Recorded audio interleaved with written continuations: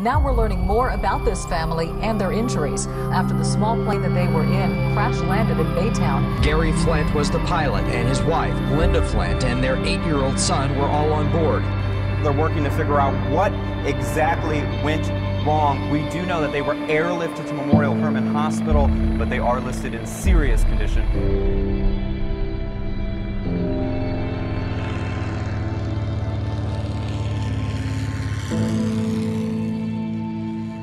My oldest son, Charles, didn't really care for flying. And it just so happened, well, he was at a camp and uh, Jonathan had never been up at night. So three of us can go fly, just kind of enjoy it.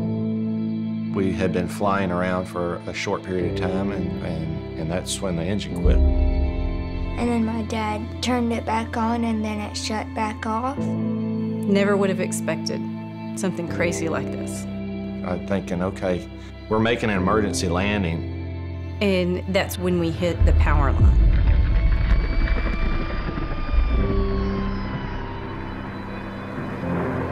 The plane was really crumpled up, and I remember, remember thinking that it'll be a miracle if there's not somebody dead in this, because it was really folded up.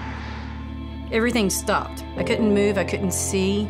I could talk to Jonathan, he was responding, and I could hear Linda behind me. I at least knew she was there. And I remember all the sirens and the helicopter coming down. We elected to put Gary on the second aircraft that landed. That way, that aircraft never had to shut down. Then we loaded Linda and Jonathan and flew with them.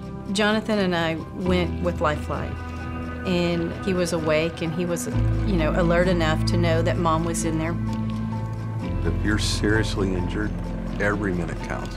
As the trauma surgeons, we were ready and waiting when the patients arrived. Their injuries were, as you might imagine, broken bones, uh, contusions and bruises, and uh, just all over their body from their head to their toe. Gary, his nose was shattered. His right elbow was broken. My C3 was broke and multiple other fractures. And they took out 100 centimeters of small bowel, the appendix, right colon.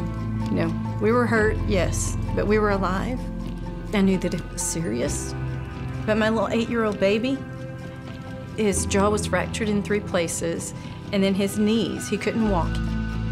I couldn't make him better. You know, it's so hard to see for my child. I first met uh, Jonathan. He was in the ICU.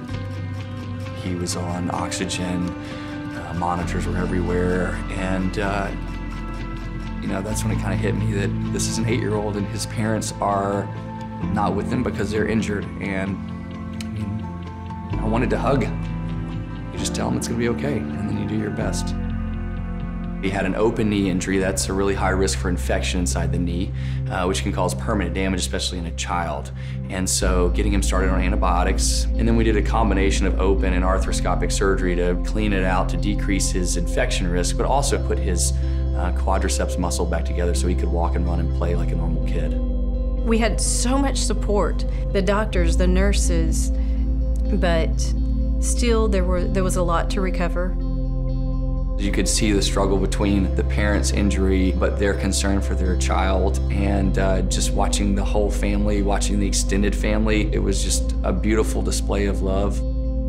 And when Charles came back into town, that made it all that much better because he was with his little brother, that he protects his little brother.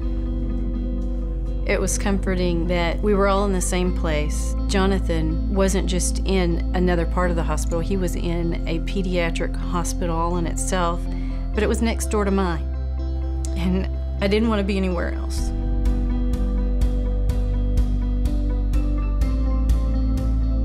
And I am so thankful that we had the care that we did because we have that opportunity to enjoy each other. Jonathan is doing everything he did before. He, he hadn't slowed down. He looked amazingly normal when I saw him last. He came walking in and I said, how you doing? And then Dad said, well, he's playing basketball. so I thought, okay, well, obviously that's pretty good. We're pretty blessed that, you know, we have such great care so readily available. Not just for myself, but for my son and for my husband we owe them our life because they saved my family. You know, you, you never forget something like that.